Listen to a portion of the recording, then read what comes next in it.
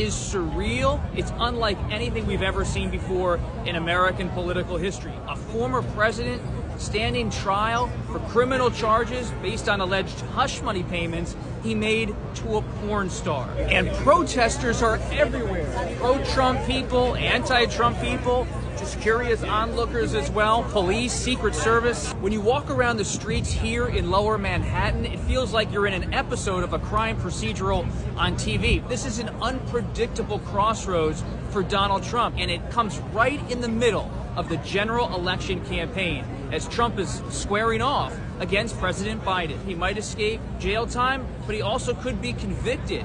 And he could go into that Republican National Convention later this year as a convicted felon.